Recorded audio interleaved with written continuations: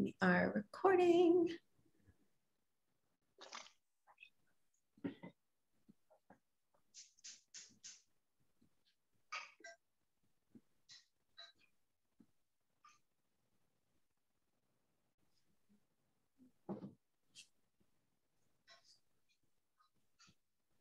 Hello, everyone. Welcome.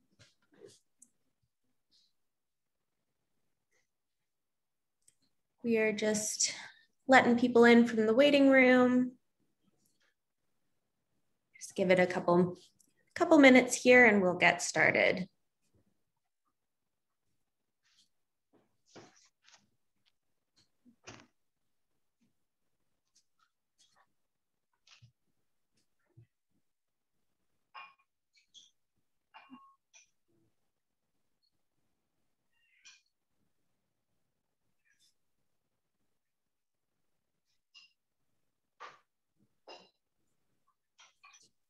Thanks everyone for being here.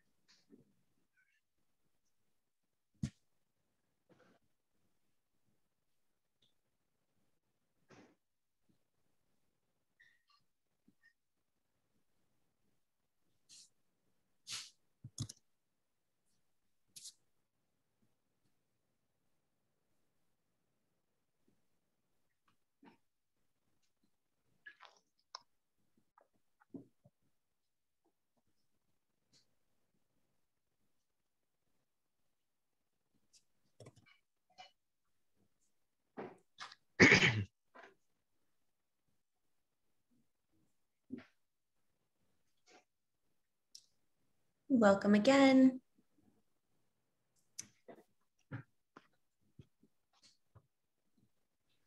All right. Just a quick note to everybody who's here that this session is being recorded. Um, we also have closed captions turned on, and so those should be available on your end for those who need them just by clicking the closed caption button at the bottom of your screen.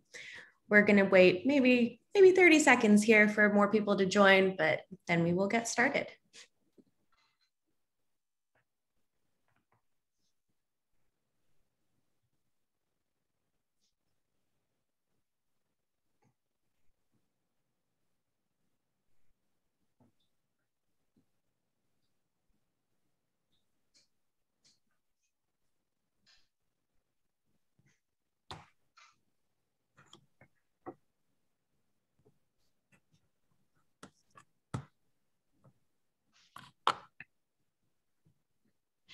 All right, I think we have a good amount of people in. Uh, just another note for those who didn't hear before, this session is being recorded. Um, closed captions are turned on on our end, so they should be available for anyone who needs them by clicking the button at the bottom of your screen. Um, so I am Kaya, I'm with Bike Pittsburgh. I am going to hand things over to Eric, who is our advocacy director, who is the main man for today, and we'll get started with E. All right. Hey, everybody. Thanks for joining. And uh, happy Bike Anywhere week uh, this Tuesday. We got a beautiful week so far. So hopefully people are biking somewhere. Um, thanks for the intro, Kaya. Uh, um, my name is Eric Boerer. I'm the advocacy director of Bike Pittsburgh. Um, in a brief sort of overview, I've been with the organization for a really long time. I'm sort of the resident historian of, of um, you know bike infrastructure and and the organization in general. And um, so what i'm what i'm hoping to do with this uh, presentation today is to give a brief overview of sort of bike planning in pittsburgh in general and how it culminated in this uh, this past year and a half so far um, in this move forward pgh program. Uh, is, okay is the raise hand feature on or is that can people use that? Uh, just that should be on, and you can okay. also type questions in the chat as uh, you're going forward, and I will kind of keep track of people who have questions. We can get to them at the at the end once you're done your presentation. Got it. I was gonna ask for a show of hands to see who's seen imagery similar to this uh, somewhere in the in the world over the past year or so. Um, if you if you wanted to use the raise hand feature, I, I am just kind of curious if you've seen it or not. Um, Okay, because hopefully you have. um, so why why did this whole thing happen, what's going on, you know, even even among you do have to unraise your hand too. So after you're done, um, the um, thanks for that, by the way. Thanks for humoring me on that. Um, so what is this whole program? A lot of people still don't quite understand, you know, like what's going on with it, what what it even is. So I'm just going to give a quick overview first of bike planning um, in Pittsburgh, and then go into this program, like I said. So, oops, come on, here we go. In the beginning, um, we had a 1999 bike plan. Um, that's the plant bike plan that we've been working off of for basically, well, for the last 20 some odd years. Um, it was, so even up to a couple years ago, we were working off of a 1999 bike plan. It was the oldest bike plan in the whole country next to Aurora, Colorado, who had one in 2006. And it's basically what we've been using until June of 2020. Just a brief, uh, to, if you uh, to, to think back to 1999, um, Mayor Murphy was the uh, was the mayor, which today, you know, as you know, is a is election day. The Eliza Furnace Trail was brand new, um, while bits of there were like little bits of riverfront trail that existed. Uh, the only on-street bike lanes in the whole city were Beechwood Boulevard and Highland Park and the Riverview Park loops. There were zero, zero curbside bike racks. There was no city bike map. Port Authority buses did not have bike racks on the front. Um, so you couldn't combine bikes and transit. And Pittsburgh was consistently ranked at the bottom of Bicycling Magazine's best bicycling uh, city list. In fact, getting worst bicycling city. Um, so since then, um, you know, one thing that a bike plan does is um, kind of outlines what the city wants to accomplish um, in terms of, you know, what like the goal. So in this in this case, the goal is making the city better for bicycling. So there were a lot of things in that bike plan that did happen, such as the, trail system that we see, the hot metal bridge um, was in that bike plan. Um, integrating bikes and transit. There's been a whole lot of work that's been done to make that happen, and just general um, bike lanes in general. Um, you know, while not directly out of the um, the city, that we got we you know, Bike Pittsburgh produces the, the Pittsburgh bike map, which was something identified in the bike plan. Um, and then, so back in 2012, we started um, pushing for a new bike plan under Luke Ravenstahl, uh, Luke Ravenstahl's administration. That took a long time. We got we didn't get very far, and then we had a new mayor. Mayor Peduto came in, and um, basically, he, uh, we we got that plan to a point where almost being published, a new mayor came in who wanted to redo it. Um, so we got to the point now where in June of 2020, we finally, um, the city finally published a bike plan called the Bike Plus Plan. And so that plan is, is a pretty important document. Like I said earlier, it's, it's something that um, helps us all understand what's going to happen, but also gives the city sort of like the direction, sets sets the expectations for both people who want bike lanes and for people who are, you know, just so that they know what's coming. Um, but it also is important for gaining funding because without an active plan, it's hard to get funding for things. So it, needless to say, getting this plan was a really important thing. Um, so as, as you can read, um, it lays out a vision for a safe and connected network of on-street and off-street facilities. Uh, it's a 10-year plan so ideally it'll be updated in 2030. Um, and uh, it identifies critical gaps in the existing bike network and begins the process to identify projects that will solve them. So that includes 120 plus miles of new or improved on-street bike facilities, 27 miles of new trails, and also a whole bunch of new policy goals on topics from maintenance of bike infrastructure to micromobility. And I really suggest you guys check that out if you haven't seen it already. Come on. Uh, just really quick, you can see, you can download these maps. I know you can't read them right now, but uh, basically this, it just shows, the left shows what's existing today in terms of on-street bike facilities and, and trails, and the right shows what the, the hopeful future is. So a big part of this whole thing was like, yeah, it sounds great glad we're you know glad we're doing all this stuff but you know we still have the the public to deal with and as you know like bike lanes are contentious They've been, uh, you know, people have been, you know, Bill Peduto got his nickname Bike Lane Billy, you know, whether he deserved it or not, um, over over this whole um, situation, and it's it's hurt him politically on some on somebody say on some level, um, and um, in short, we just needed to do things like rally bigger and broader support, um, you know, for bike infrastructure. And so, how do we do that? Well, one thing that came up was the um, this Move Forward program. So it's an initiative of the City of Pittsburgh's Department of, Mobility and Infrastructure to implement their new Bike Plus plan. So they're working with local nonprofit partners, like Pittsburgh, us, and Healthy Ride, uh, to engage the community, to, to think of ways to engage the community through the process of installing new bike-friendly connections uh, throughout Pittsburgh. So to help out with this is an organization called uh, People for Bikes. Where's that? Hold on, I don't know what's going on. I'm trying to go backwards. There we go. um, so People for Bikes is a national nonprofit organization um, that is basically an industry group, but they do a lot of lobbying. Um, and they came up with this funding program uh, and support program to help um, to help cities, um, uh, several cities, um, impl implement their bike plans.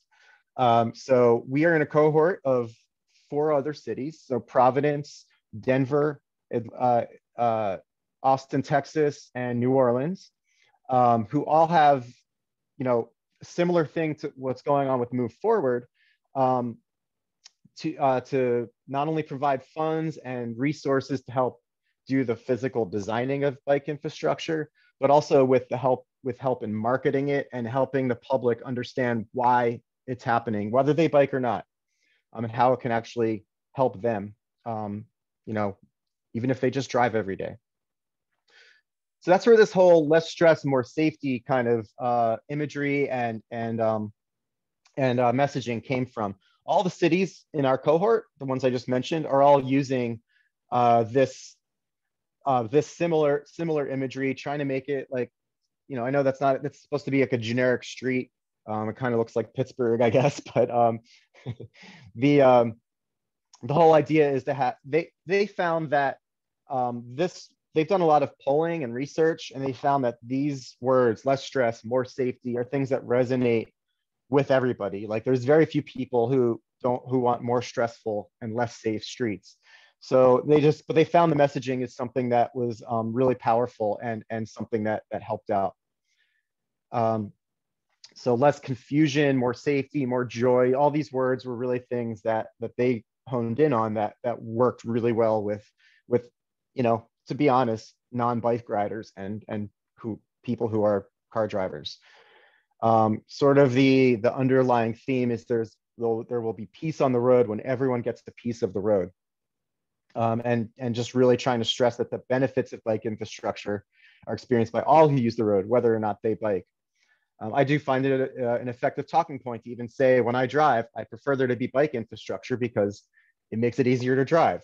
Um, and you know that I feel like that's something that a lot of people really, really resonate, really resonates with a lot of people. So I'm going to briefly show a video. I'm guessing people, uh, everyone on here has seen it. I saw a lot of hands raised um, during it, but um, this is the the newest, a new video. We so far. Oh, hold on, I'll just play it if I can figure out how to do it. There we go.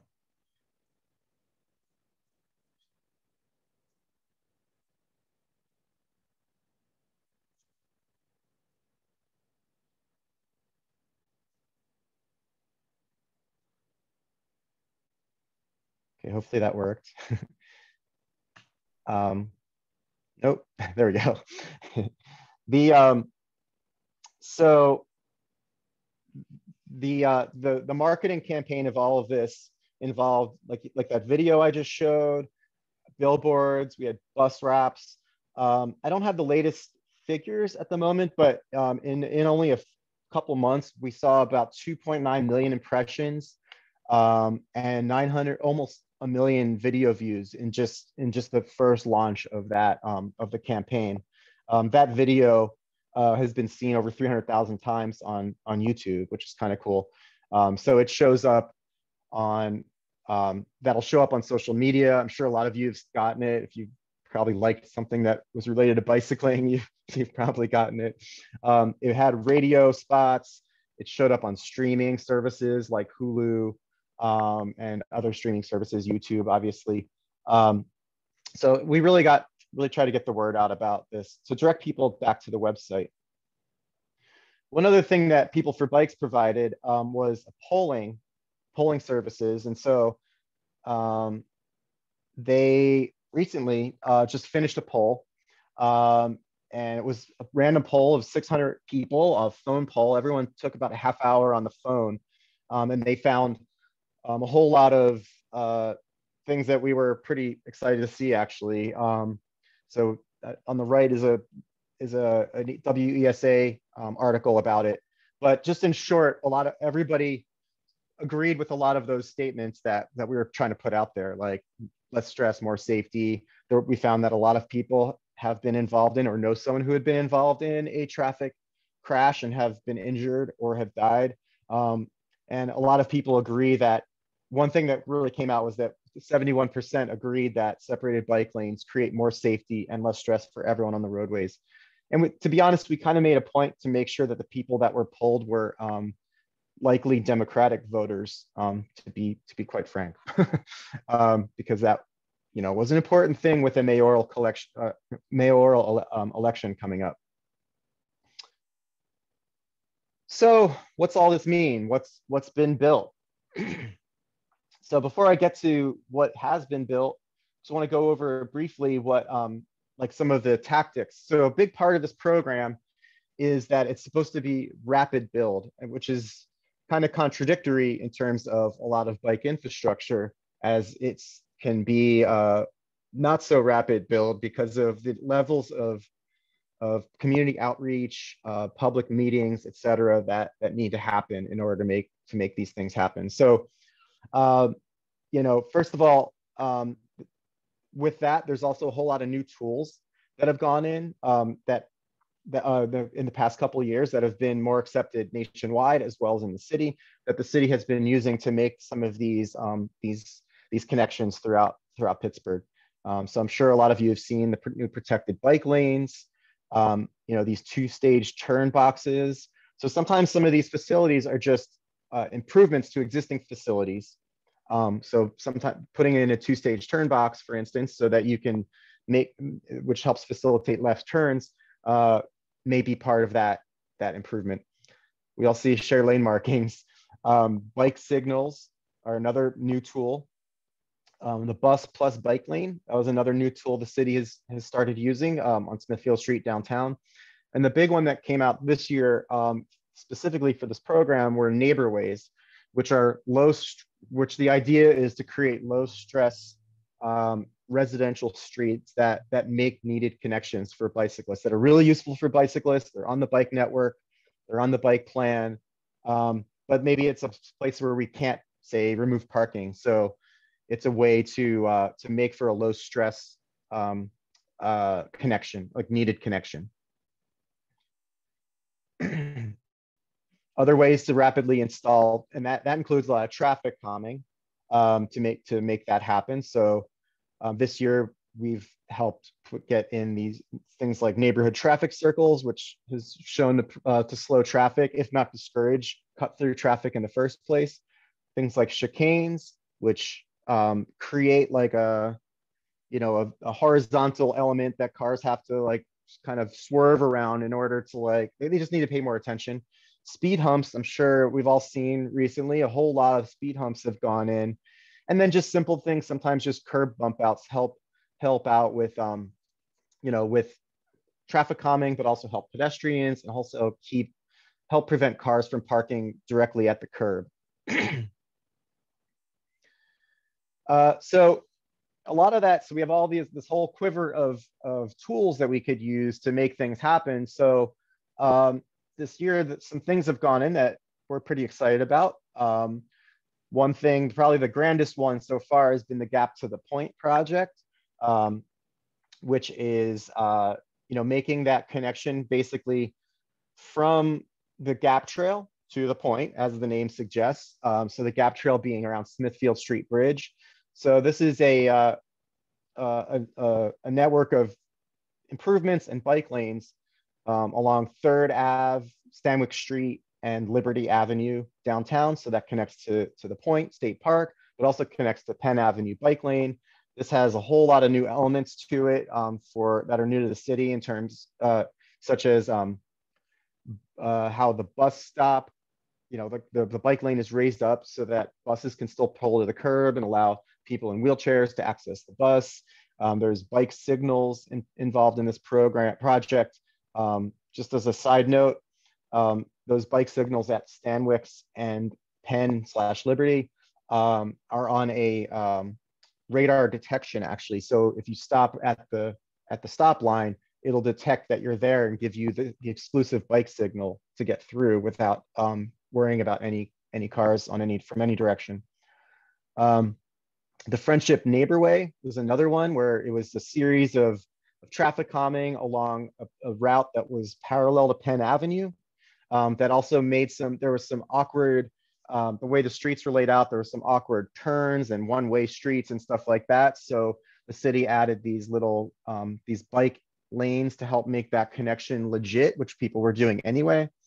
Um, and uh, the, the Euclid Neighborway was another one. This is from the pilot. These are going to be turning into actual, like I had showed before, the actual neighborhood traffic circles, poured concrete. And these will have landscaping in them soon, by the way. Um, so the one you see in Euclid there is temporary, the way that looks. Uh, Southside Neighborway is another is another one that is a street that parallels um, East Carson Street, and then the Washington Boulevard Trail, which was uh, which is a big connection from Negley Run over to the cycling oval, um, making that that more accessible, uh, as well as the Lawrenceville Neighborway, which I showed before. Um, so so far, there's a whole lot of pro. So that was some projects that happened. Um, there the main ones that you can see on the website, the move forward pgh.org slash projects. Um, we have a, there's a whole bunch on their way in the north side. Um, and then Shadyside Squirrel Hill also has a whole bunch of projects coming up. And then we're hoping to see uh, the next uh, neighborhoods clusters that will have some some uh, bike infrastructure in the south, west, and the strip in downtown. Uh, connections in the strip and downtown um, are hopefully on their way. Uh, if you go to that website that I showed, um, moveforwardpgh.org slash projects, you can see the latest list of things that are either upcoming or in planning or, you know, or are on their way. And this is just in, in general, this is a pretty huge jump for the city in terms of, of um, being a little more transparent and clear about what projects are happening and, and so that the public can has a place to go to now and um, see the project, click into it, see what's happening, see where the you know public engagement is, whether it's a public meeting or a survey, um, et cetera. So that was a really big jump in terms of planning. So now we get to the part where how you can help. Glad you asked. Um, so obviously the move forward moveforwardpgh.org website, the easiest thing to do right now, if you're not on it, is just to sign up for emails that will, that basically will ensure that you get the latest on everything that's coming up. Uh, there's public meetings to attend, surveys to attend, and a really big one is just to support programs on social media. Um, as we all have seen, bike lanes and bike infrastructure get dragged um, pretty heavily in social media. And so it, it is actually really important to, um, you know, to fight that. Um, and then another thing that I want to plug is um, our advocate program at Bike Pittsburgh. Um, if you go to that that website that's shown, we have like sort of a, um, a how-to on um, 101, like how to write letters to the editor, to your electeds. Um, like I said, support on social media is always good. And that sometimes it's not arguing with people, it's just giving support for stuff is really important. Um, but one that, uh, two things I really wanted to plug were becoming a member of Bike Pittsburgh is another great way if you're not already but also um, joining your neighborhood bike ped committee. And if you're not familiar with those, um, all across the city, we have approximately, uh, there's a dozen, over a dozen um, neighborhood specific bike ped committees that these are the true like on the on the ground advocates who are really helping uh, push this agenda. Um, so they're not we don't necessarily run them but we really give them support and try to guide um, and and help out how we can um, but these are local advocates who are pushing for improvements within their neighborhood they help try to push for um, projects within the budget um, uh, the city's budget they help out with the numerous things in terms of when a project is happening within that neighborhood. We really look to them and depend on them to help get the word out, help gar garner support, um, just generally be like on the ground. Um, you know, we've, for instance, uh, recently um, with the project on Ellsworth Ave that's in planning, um, they've been integral in helping, uh, you know, raise awareness for it, um, get the community involved, whether it's out there handing out flyers to people about the project and public meetings coming up, um, or writing letters and, or even doing like pop-up, um, helping us with pop-up bike lake giveaways and things like that. One thing that we have also um, on our on this website is this uh, the grassroots advocacy toolkit, um, which I suggest everybody check out. Um, it's for people who are involved in the bike ped committee or want to start one. So if there isn't, if you see a blank space in this in this map to the left, um, this toolkit will ideally help you figure out how to start one yourself. Um, uh, it kind of has like a, it basically walks you through all the steps um, it would take to to create your own bike ped committee. And like I said, they are extremely helpful. And we have um, our community organizer on staff, Anna Tang, who I'm guessing a lot of you know, um, is really tasked with helping um, make, make these things successful. and with that, um, I'm going to open it up to questions. Um, I don't know how you want to do this, Kaya, if we want to leave this slide up or yeah, I, I have not or... received any questions in the chat. So, you know, send them on in, folks. If you've got any questions, doesn't have to be, you know, totally related to the presentation. We can we can talk about anything. But uh, yeah, thank you so much, Eric. We appreciate. You unmuting people, or is it just in the chat? Um, you can feel free to unmute yourself, or let's see. We have Seth is raising his hand, so I can. Yeah, Seth, are you unmuted now? Yep. Can you hear me? Yeah. Awesome. So this is, I guess, kind of in support, and, and Eric, you kind of touched on it in support for bike lanes. I know Bike Pittsburgh has stepped away from enforcement, but I know it's still kind of epidemic level of people parking in bike lanes. Is there a strategy outside of, I mean, I guess building infrastructure and, and kind of maybe hardening that infrastructure so it's not possible to park, or are there other strategies you think we can take outside of enforcement? Uh, yeah, that's a really that's a that's a really good question. Thanks, Seth, and also an evolving question. I should say that the, we have stepped away from armed enforcement is is a is a big part of that. Um, so we have not stepped away from parking enforcement. Um, just just to be to be clear. Um, so uh, the um, yeah, we we definitely do take the fix it first approach, or what we like to call self-enforcing streets, um, as the best approach. But we understand also that's not possible in every location. Um, so, in terms of parking itself, yeah, this this you know quite honestly, while I said we haven't stepped away from parking enforcement, we've also found it hasn't been very successful to have enforcement in, in, in terms of parking. As you can, as we all know, people think that sidewalks are also places where they can park. Um, and so it's it's a really difficult um, situation, um, you know, for us because the way that the whole the way that the whole that we're tasked to deal with this problem is to, the, the city directs us to call 911 and which is something that we have basically that I think everybody can agree is probably not the best uh, solution to this problem is to call 911 every time something happens, especially when it's every day, um, as we have seen the Penn Ave bike lane.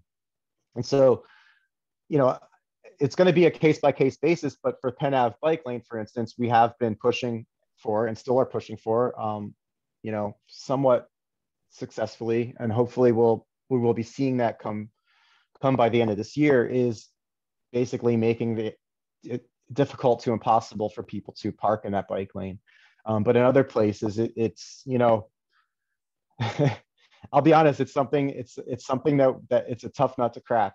And um, it is, you know, we have found that in a lot of situations that protecting the bike lanes um, is a with uh, bollards has been successful in a lot of places. Um, but also one thing that we have been pushing for is parking protected bike lanes, um, which both preserves parking um, and so allows people to park as well as pr uh, provide a, a protected facility. Um, and so that's something that is, I'll call semi-legal at the moment. Um, it is, if the city wants to install it with their own money on their own streets, they can. But if they want to get statewide funding or federal funding or install it on a state-owned street, that's basically impossible at the moment. So we've been um, on a uh, basically a two-year campaign to try to legalize parking protected bike lanes um, in the city. So, you know, and also just as we as as things develop, people get more used to different types of infrastructure at like that stuff I showed earlier. And so, you know, every year we gain more and new um, tools in our toolbox, so to speak, that I think could help that situation.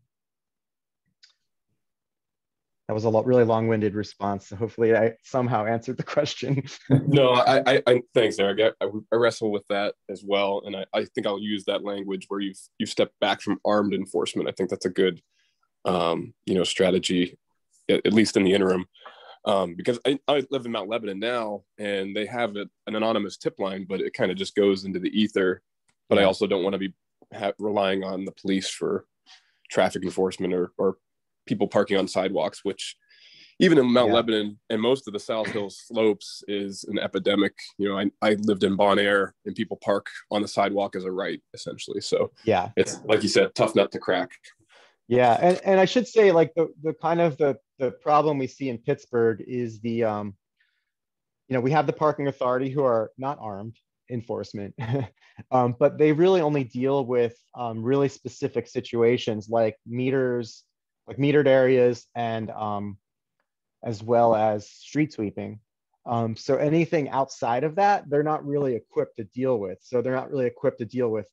There's somebody parked in a bike lane. You know, they they send the armed police out, and so that's something that we've been trying to push for.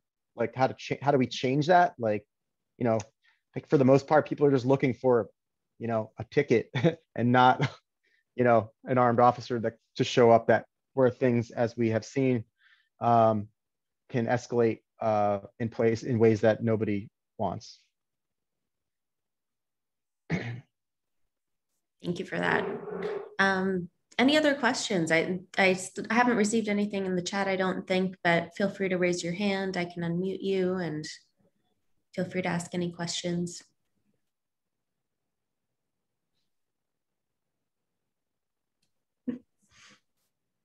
Very easy audience here. Yeah. I don't know. I, I, would like to bring up an issue. Uh, this is Yale. Um, with the proliferation of uh, e-bikes, um, we're seeing a lot more people who aren't that experienced riding on the roads, on the trails, especially on the trails, we see that. And I'm just wondering uh, if there's anything in planning in terms of um, educating, um, addressing some of these issues. Again, the, the, the, trails are now, there are more people, less experienced. The average speed on the trail is now a lot on the trails, and again, uh, as well as on the roads.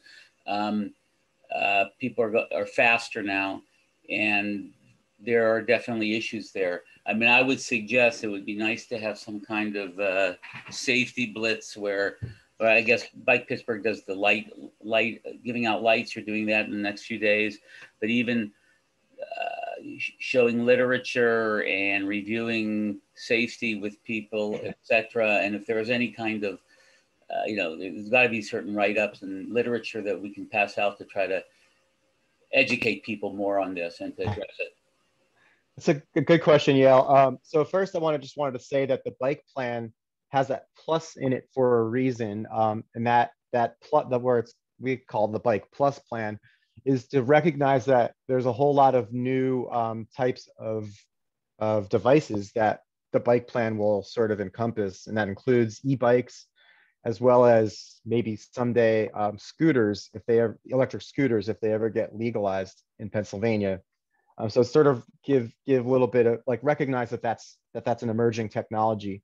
But yeah, you're right. The, the education around it needs to catch up to what's happening now. And you know, we've had I don't know 100 plus years of bicycle education, but e-bikes are fairly new and getting more popular by the minute. And um, it is something that um, that we you know we definitely need to to address. Um, we are I'm not going to put anybody on the spot or say that we are going to do this at the moment, but we are, um, you know, these kind of comments are really appreciated because we are rethinking our education department at the moment. Um, so things like that, I think are, you know, so I'm really glad you brought that comment up. Um, I can't say that we have something planned at the moment, um, but but you know, I, I, I definitely agree with you that it is necessary, and I'm I'm seeing the problem out there as well. Um, you know, I think e-bikes, you know, are great are going to be a great resource for people to, to not drive and, and get out and leave the car at home um, and just make getting around town easier by on two wheels. But um, yeah, you're there. There is this um, this level where they they are a little bit harder to uh, to handle, and and um, and you definitely see people uh, who maybe are less experienced on them and not following the rules. Um, so you know, right now everything is is fairly new. The city's pl- playing catch up. The state's playing catch up um, in terms of education and even what is legal and what isn't legal. Um, so, you know, um, anyway, with that, I'll say thanks thanks for that comment and duly noted. Um, but at the moment, there is no official plan. Yeah, and I was I'll follow up that up with saying that you know, we are looking at a, a, partial transition of the Healthy Ride fleet into, they're going to be releasing some e bikes shortly. So, that kind of education is absolutely going to be necessary to teach people about when everybody's able to rent e bikes and ride them around the city. We're going to have to, you know, have some sort of push of education around that. So, I, I definitely think that'll be something that we are going to be working to address as soon as that rollout occurs. Yeah, thanks, Kay. I, I, I, forgot to mention that. So thank you yeah. for bringing that up. Yeah, I, I don't have any particular details on exactly when that's going to be, but I know our friends at Healthy Ride are working very hard to make that happen right now. So um, stay tuned. Um, we do have some chat questions. Sandra would like to know um, from your perspective, what have been some of the challenges and opportunities for the Shadyside Squirrel Hill planning and implementation? Well, I guess I'll start with the challenges. Uh, I'll say everywhere, eh, for every project, the biggest challenge is always the P word, parking. Parking, parking, parking. It's the first I, you know, as a bike advocate, I spend more time talking about parking than even bicycles. Um, you know, the so how to figure out, um, you know, where what parking is where parking is, um, say, oversupplied and undersupplied, um, where you know people have, uh, you know, and and what's and also what's happening in those in the parking. You know, not all parking is the same. Some parking is obviously like, you know, in areas where there's row homes and there's no driveway, then people obviously have to put their cars on the street. Um, you know but there's other areas where maybe the parking dynamics are different and it's not so much residents. Like if it's a neighborhood that has very few car owners but a lot of on-street parking maybe there's something else going on and and figuring out why people are parking there. Are they just parking there because it's free and they're just parking there as using it as a park and ride lot so that they can jump on the bus for free you know? So there's a whole lot there's a whole lot of dynamics that that happen and parking is the thing that that you know basically is the reason a project can or cannot happen. um, uh, so, and and people, you know, as as I'm sure we've all seen in Pittsburgh, people uh, feel very connected to their parking space, um, especially when it's when it's in front of of their house, even though sometimes it's a public parking area situation. Um, so as far as challenges, that that's got to be the the number one challenge I've seen. Everybody, everybody can agree that safety is important and that bike, even that bike lanes, in my mind, people agree that bike lanes are important. but a lot of people are not willing to do the trade-off for for uh, for parking. Um, so that's why certain um, another challenge um, I'll say we've had with some of this is um,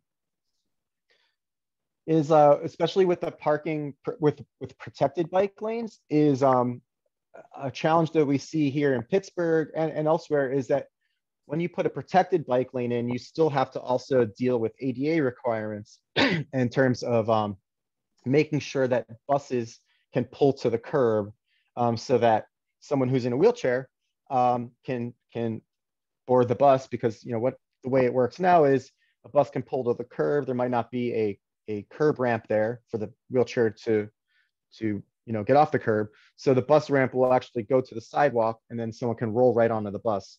Super important, super valuable, um, understandably.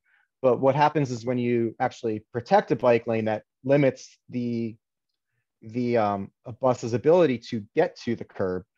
So how do you deal with that? Well, then one other way to one way to deal with that is to raise the bike lane up, and that's why you see the bike lanes raised in on Stanwix on um sorry on Liberty Avenue and oh yeah and Stanwix in downtown, so that a um basically somebody in a wheelchair can cross the bike lane into the bus. So it's important to like when you see a bus pulling up um, to a bus stop there, you need to slow down and, and make sure that people can get on and off safely. And they always paint those areas in, in bright green. And so, um, uh, anyway, that, that's been a pretty, pretty big challenge because it, it, it uh, creates a huge amount of cost burden on the project itself. So you go from a project that goes from paint to now you're pouring concrete or, or asphalt and, and having to use a lot more um, expensive um, uh, interventions and expensive, um, you know, uh, more thermoplastic, which is can be expensive, the markings and stuff like that. So in terms of challenges, we've seen that that basically uh, be the deal killer on some projects. Um, as far as opportunities go, um, you know, while the project itself is a challenge, I think this program um, has brought the opportunity of Ellsworth Avenue um, into light.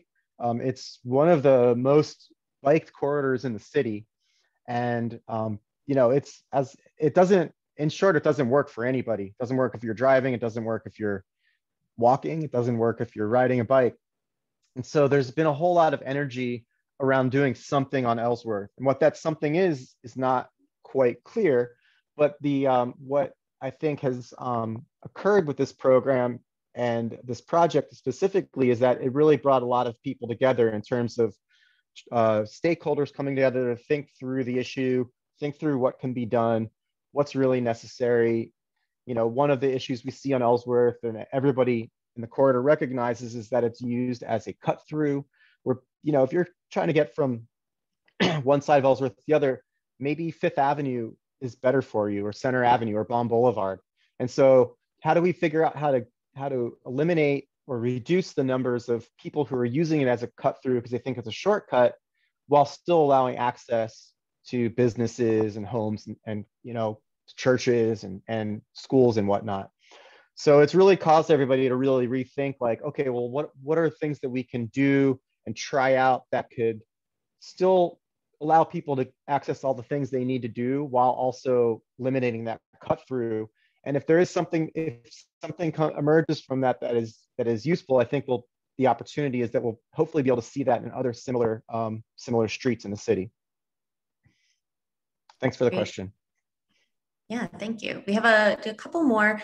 Um, tying into the the kind of challenges with protecting bike lanes chris would like to know what plans there might be to improve cleanliness of some of the lanes particularly the protected lanes yeah that is another challenge um, i will say um, you know there's two challenges there which is the um, you know street sweeping in the summer and snow plowing in the winter um, so the snow plowing in the winter is the easier one to deal with because the city has can put plows on if they have smaller trucks. They, they have some equipment um, to do that. The, the street sweeping is the harder one if it's protected.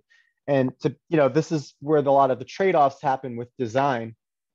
Um, you know, when you have the two-way protected bike lanes, such as Penn Avenue, they're able to get a street sweeper in it. But when you have a one-way protected bike lane, like you see on Forbes Avenue in, in Oakland, there's no street sweepers. They just literally don't have street sweepers that can that can clean that.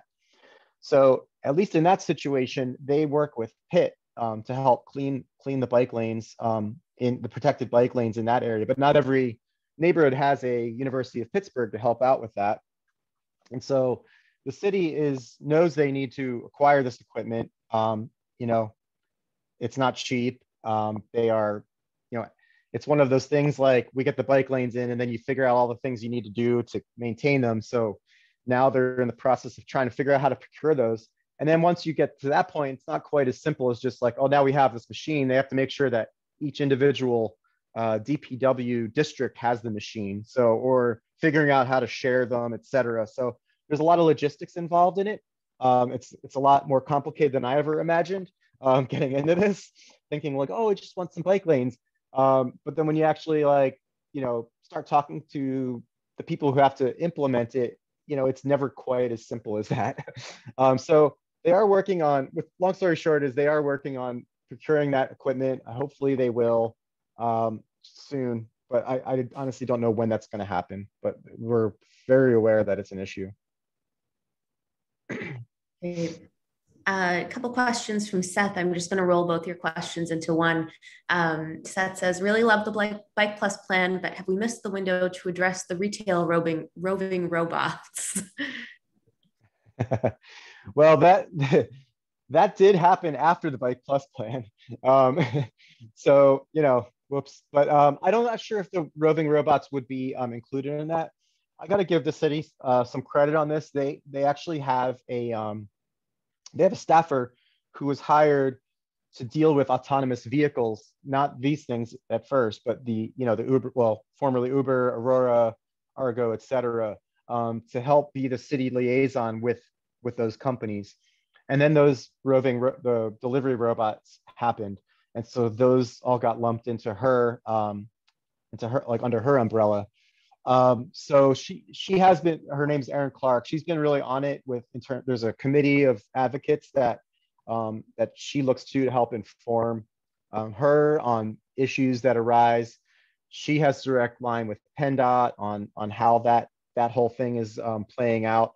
And so and they've they've been fair, pretty good advocates, um, I think, in trying to push PennDOT to be um, to give the city more leeway in terms of of these robots. Um, but yeah, I'm not going to say we all we all missed the boat on that. I mean, I don't think anybody, very few people knew that that bill was even that legalized them in the state of Pennsylvania was even happening as it was rushed through. Um, so it was a surprise to to everybody. Um, not gonna not gonna try to paint paint a better picture on that. Mm-hmm. Um, second question from Seth was uh, really looking forward to when we can talk about bike parking interested in the concept the Oonee Pod is that is that correct? Is bringing to nyc is secure bike parking on the radar here in pittsburgh?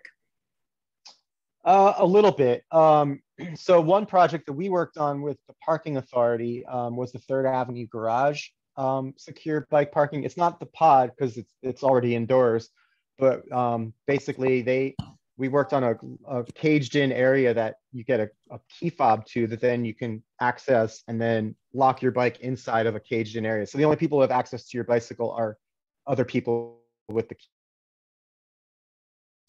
Integrating that into the whole parking authority, you know, um, leasing system, which was really cool. Um, as far as those other pods go, I haven't seen other place, other the city itself working on that.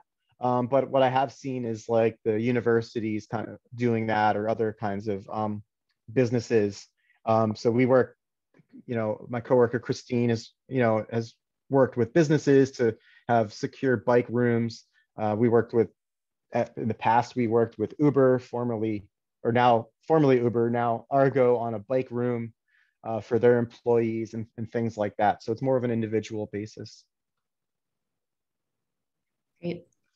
Um, Yale would like to know why aren't there bike lanes on Butler from Highland Park to 50th or so? There's plenty of room and no parking. Is it a state road? I will answer your question that yes, Butler is a state road, but maybe you can say more about that.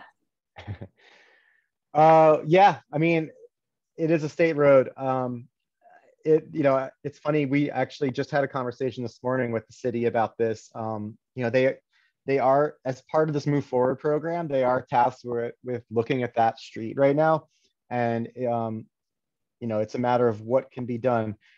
It's not quite correct that there is no parking. there are sections. A lot of those sections do have parking. It's just that people park on the sidewalk. So then it, it, it plays into the question like if you do do something on there, well, then we should do something to so that people can park safely on the street, um, which then frees up the sidewalks. So it's, and then, yes, it is a PennDOT road, which is also always a limiting factor on a lot of pro projects. Um, they have ultimate say on a lot of a lot of the issues. So um, in short, they are looking at it at the moment. Um, I don't know what's going to happen with it, um, but you know they're they are tasked with looking at it. So hopefully we'll see something come out of it. Yeah. Um, question from Ben. Anything we can do about dangerous sewer grates and holes and pipes in many of the bike lanes? Whew, yeah. So there was a point, there was one brief moment where um, where the sewer authority actually had a, uh, a program uh, where you could tweet at them and, and help get those replaced. And it was working on a couple, you know, it did work. Um, I have noticed that our, our a lot of ours, 311, I will say, is the best place at the moment, while we all know that that could take forever. Um, I have noticed that majority of ours are either the bike safe ones or the semi bike safe ones where the we don't have the the parallel um, you know the ones that run along along the your your line of path they're all a lot of them are at an angle um, but they are still not there those are the ones i would call the semi bike friendly ones because you're not going to fall in but you could still obviously slip on them or if you hit it wrong you could fall in um, but uh, right now the best I, I wish i had a better answer for that but 311 is the best place and and you know we have been i have seen been uh, seen success with this, with getting these replaced. Often it is the best time to do it is when they're um, doing road work or doing, you know, that that's the time to really like nod them to replace a whole bunch at once because they're in there doing the road work anyway. If they have to order new sewer grates, we might as well get them to do the, you know, bike friendly one. And I have seen them be responsive to that. Mm -hmm. And I'll also say um, 311 somewhat seems to prioritize based on the volume of requests for certain things. So if you have friends who are also concerned, submit like multiple 311 requests about the same issue, and you might get a bit more responsivity from DPW. And, and I'd say I'd say that lo- your local bike ped committees are that's a really great that would be a really great project for a local bike ped committee to take on. So then help figure out you know all the necessary steps to, to especially if there's like sometimes it's one sewer grate that needs to be fixed so sometimes you know the local bike ped committees are a perfect resource to help figure out how to make that happen because it's not always the same yeah um, Daniel would like to know, are there any plans to add signage at uh, popular entrances to the river trail system, i.e. sign at the entrance of Second Ave or Greenfield Ave that says downtown four miles, Point State Park four and a half miles, um, think this would be useful to people to make them aware of what attractions the trail can lead to. Yeah, so the Bike Plus plan does talk about wayfinding in it. Um, it is something that that um, I, I, also agree would be um, very useful. The um, they have been adding more wayfinding, especially with the uh, the new neighborways. So if you see the if you go if you go on any of the neighborways, they at at the time of installation, they've also installed things like you're saying, like you know, children's hospital, quarter mile, or whatever it might be. Um, so they have started to do that. And I and the idea is that as they build out some of this infrastructure, they will include it as it, as they go along. Um, but as far as an overall plan, um, that doesn't really um, exist uh, at the moment. Um, but um, I could see the trails also also being part of the the, the earlier plan um, for for that implementation because a lot of those do have some signs, but you're you're you're right. There there are they could definitely use some more. Mm-hmm. And I think in terms of wayfinding signs, um, I'll bring up Ben's Ben's comment from earlier about more signage downtown on Penn Avenue or any areas where there's two-way bike lanes, potentially there could be more signage put in to get folks to look both ways for bikes and not just the one way that the cars are coming. Um, yeah. yeah. Any other any other questions? I don't see anyone else in the chat, but we have a couple more minutes here if there's any any remaining questions. No. All right. Well, thank you everyone for joining us today. Um, we really appreciate you being here. Again, if you are interested in becoming a member of Bike Pittsburgh, if you're not already a member of Bike Pittsburgh, this is the month to join. You get a free gift um, if you join or renew this month. There's some awesome information on our website. I put it in the chat earlier, but I believe it's bikepgh.org slash membership. Um, and we are also hosting commuter cafes on Friday for our normal bike to work day sort of activity. So if you join or renew or come see us at a commuter cafe, we can join or renew the membership at that point. Um, please feel free to reach out with any questions. Eric's email is on the screen there. Eric, did you have any closing words? Just uh, thanks for hanging out with me and, and listening uh, and hearing about the whole Move Forward program and like planning in Pittsburgh in general. So thank you. Really appreciate it. Yeah. Thanks, everyone. Have a great rest of your day. Thank you.